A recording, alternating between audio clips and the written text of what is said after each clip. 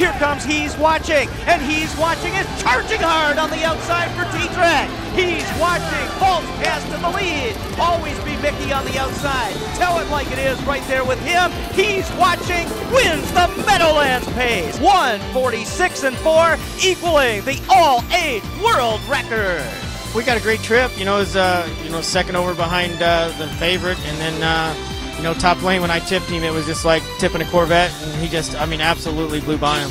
When I when I tipped him in the Meadowlands pace that day, he, he just took off. He just had uh, you know felt like he did have wings because he just floated all the way to the wire, and he felt like he never even hit the ground that night. His speed, uh, the way he could come off cover and just uh, absolutely go from zero to 60 as fast as you want a horse to go.